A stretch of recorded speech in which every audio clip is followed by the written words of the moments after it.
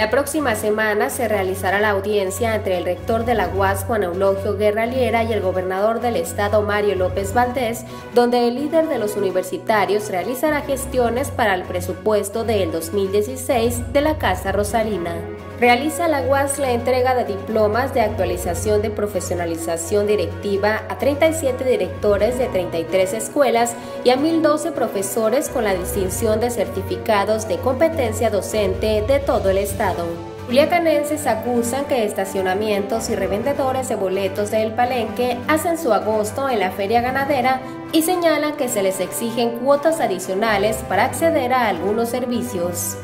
Durante la séptima semana de COSICA se lleva a cabo la mesa redonda de la legalización de la marihuana, creando controversia entre los expositores, donde en esta ocasión participaron Ana Cristina Quintero, joven líder del PRD, Pedro Ceballos, director del Instituto Estatal de Ciencias Penales, y Jesús Subirías, representante de los centros de rehabilitación de todo el estado.